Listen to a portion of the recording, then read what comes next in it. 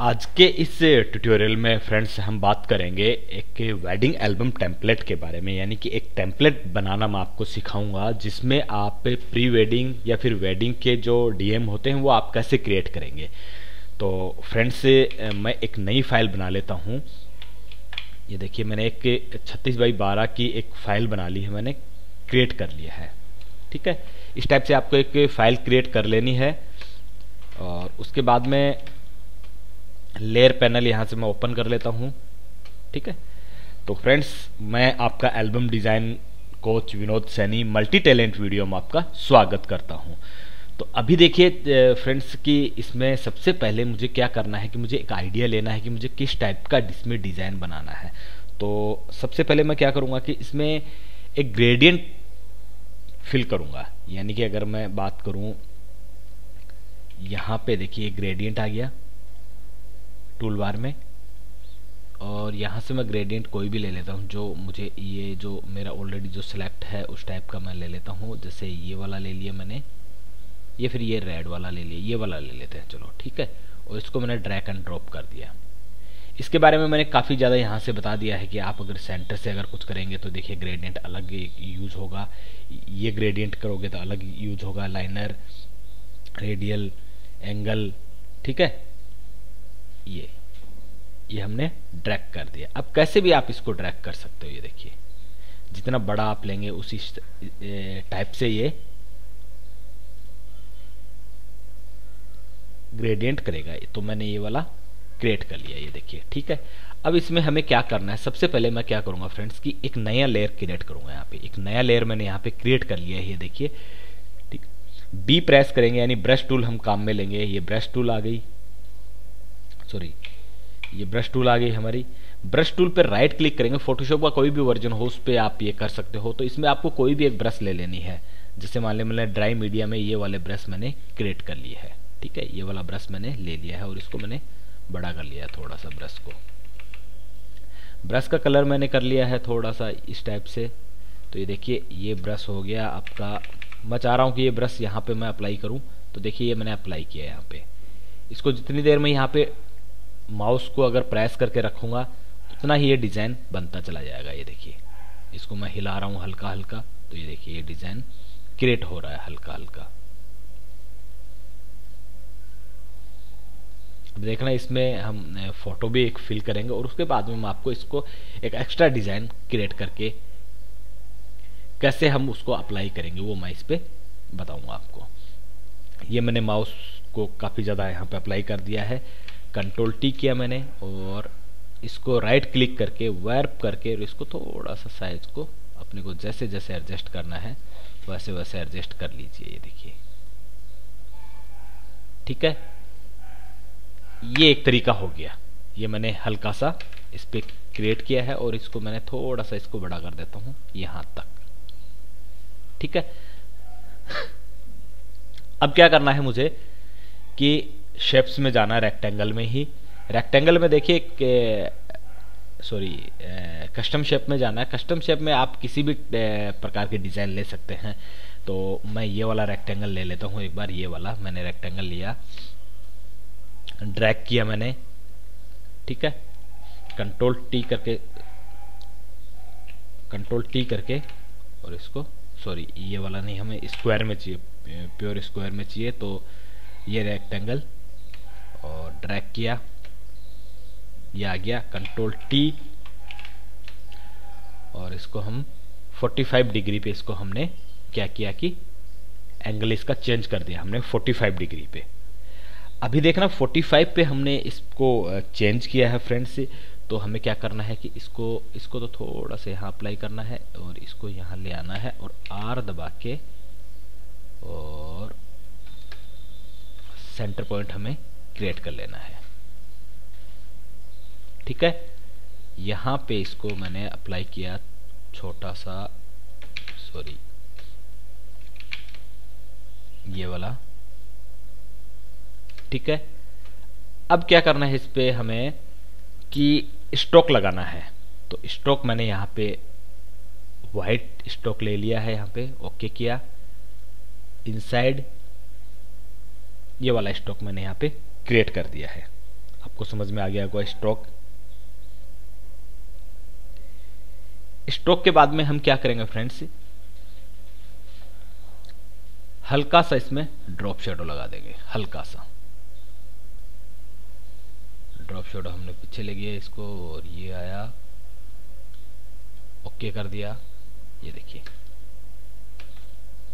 यहाँ तक क्लियर आपका?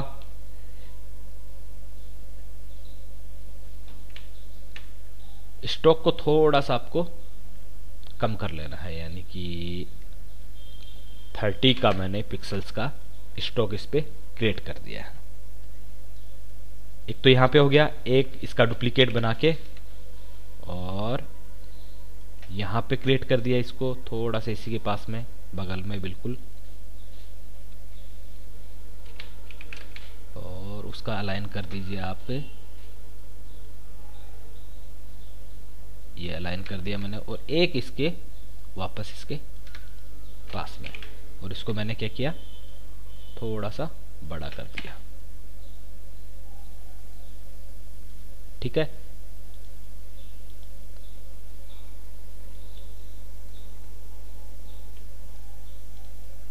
इसकी साइज़ थोड़ी सी और छोटी करनी है।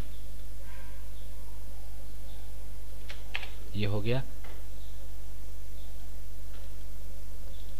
तीनों को पकड़ के।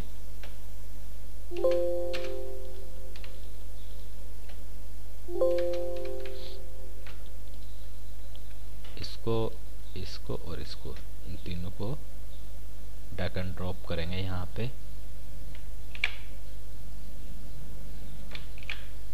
थोड़ा सा सॉरी थोड़ा सा इसको बड़ा कर लेंगे। अब देखिए, इस पर थोड़ा सा इफ़ेक्ट लगाएँगे हम।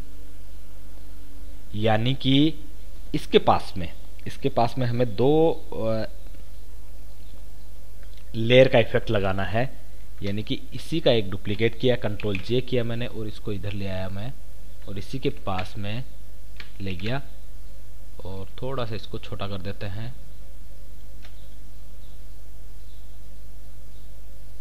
ठीक है, ये क्लियर अब देखिए, इसको स्ट्रोक लगाएँगे हम, इस पर वापस से स्ट्रोक ये है, इसका स्ट्रोक हम बढ़ाएँगे यहाँ पे।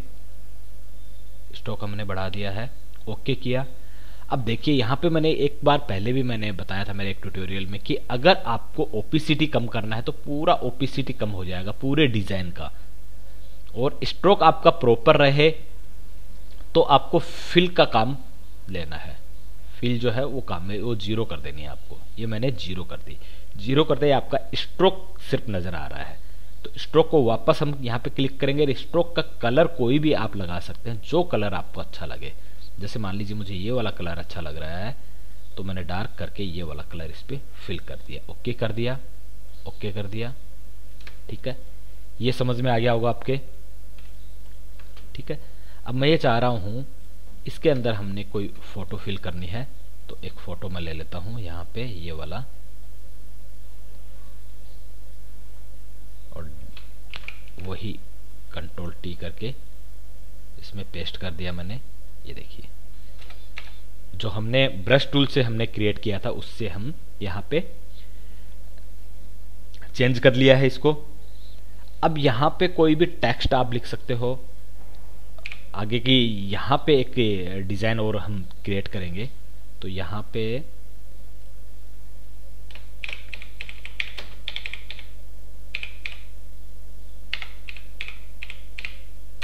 ये हमने एक छोटा सा टेक्स्ट यहाँ पे लिखा है। ठीक है? इसका कलर आप चाहो तो इस टाइप का ले सकते हो। ओके किया। अगर आप बैकग्राउंड से मिलता जुलता कलर लेते हैं, कोई भी बैकग्राउंड से मिलता जुलता कलर लेते हैं तो आपकी डिज़ाइन थोड़ी सी यूनिक दिखेगी, अच्छी दिखेगी।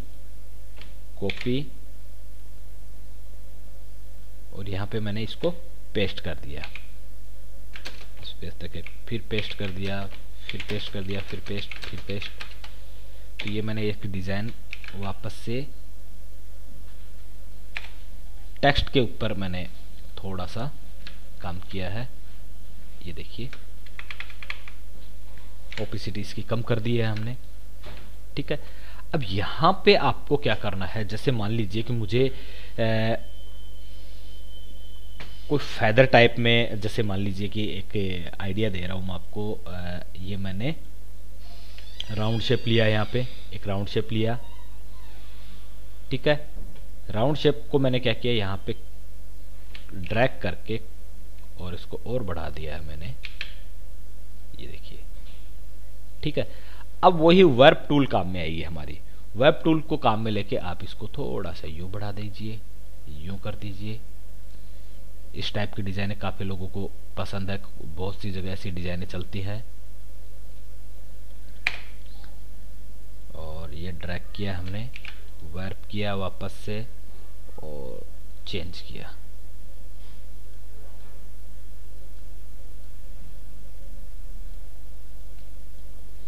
ये देखिए, अभी ये थोड़ा सा यूनिक लगने लग जाएगा आपको भी। बीच में से हमने इसको यहाँ तक कर दिया है। ठीक है? अब देखिए, इसमें क्या करना है आपको? ये डिज़ाइन ऐसे क्रिएट हुआ है। कंट्रोल जे किया, इसका एक डुप्लीकेट किया और इसी को नीचे लाके और इसकी ओपिसिटी हमने चेंज कर दी है। ये देखिए। एक डिज़ाइन क्रिएट हो गया नीचे भी।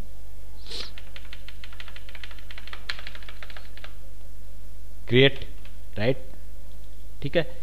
इसमें अब आपको कोई भी इमेजेस आपको जो लगानी है, उस टाइप की इमेजेस आप लगा सकते हो, जैसे ये वाली ये वाली इमेज हमने इस पर ड्रैग एंड ड्रॉप कर दिया है। कंट्रोल जी वही तरीका। और बड़ा कर दीजिए, जितना आपको चाहिए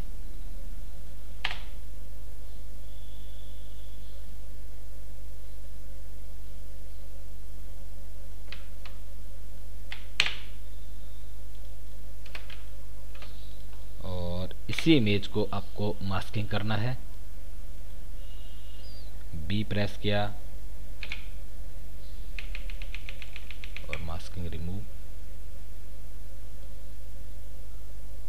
ठीक है? और मास्किंग रिमूव नहीं करना है तो रिमूव कर दिया आपने इसको लेयर को। और राइट क्लिक करके रेस्टसाइज लेयर और इरेजर टूल इसमें काम में ले लीजिए, ये देखिए। ठीक है? ये मैच हो गया इसमें। क्लिक किया टैप को। अब देखिए, इसमें आपको कलर थ्योरी काम में लेनी है, यानी कि जैसे इस इमेज के अंदर ये वाला बैकग्राउंड इसमें मैच हो गया। तो मैं चाह रहा हूँ कि इस टाइप का ये जो डिज़ाइन है, यानी कि ये जो कलर आ रहा है, ये, इस टाइप के कलर आ रहे हैं कुछ यहाँ पे, या फिर ये ब्लू कलर आ रहे हैं, या फिर रेड कलर आ रहे हैं तो रेड को भी आप इस टाइप से काम में ले सकते हो। जैसे मैंने इस पर कुछ शेप्स बना दी। सपोज़ कीजिए कि कस्टम शेप पे गया और ये वाली शेप ले लेता हूँ मैं। ड्रैग किया यहाँ पे आ गया ये कलर तो ज़रूरी नहीं है आप आप काफ़ी लोग इनको यूज़ नहीं करते। इसको अलग तरीका बताता हूँ मैं आपको यूज़ करने का ये लीजिए। देखना आ, ये है मुझे कुछ नहीं चाहिए मुझे सिर्फ़ ये जो इसका ये जो तीन पत्तियाँ हैं इस टाइप से ये चाहिए मुझे। ये देखिए यूनिक हो गया। और यहाँ पे लेके आया मैं। यूनिक हो गया। ठीक है? शेप्स का कलर आपको देना है ये वाला। तो आई ड्रॉपर टूल से ये वाला शेप्स का कलर आप चेंज कर दीजिए। जैसे मान लीजिए मैंने ये वाला कलर ले लिया यहाँ पे। ये ले लिया। ये ये ये वाला कलर आ गया। ये देखिए। चेंज हो गया। ठीक है? तो इस टाइप से फ्रेंड्स आप यूज़ कर सकते हो डिज़ाइन को डिज़ाइन पैटर्न को। ये जो तरीका मैंने बताया है ये वाला, इसकी लेयर पैनल को आप यहाँ पे वापस से डिज़ाइन सॉरी छोटा करके यहाँ पे लगा सकते हो। ये देखिए, मैंने यहाँ पे क्रिएट कर दिया। यहाँ पे लगा सकते हो इस टाइप से। तो तरीका जो मैं, मेरे डिज़ाइंस में आप लोगों को बताता हूँ अलग अलग तरीके, उस टाइप से आप काम कर सकते हो। और टी मैंने प्रेस किया वापस से और इसका कलर मैं यही बनाना चाह रहा हूँ। ये देखिए, मैंने ओके कर दिया। तो ये एक यूनिक दिखने लग गया। तो फ्रेंड्स से इसी टाइप की पीएचडी बैकग्राउंड अगर आपको ख़रीदनी है तो मल्टी टैलेंट वीडियो को आप कॉल कीजिए और हमारे चैनल को सब्सक्राइब कीजिए। Thank you.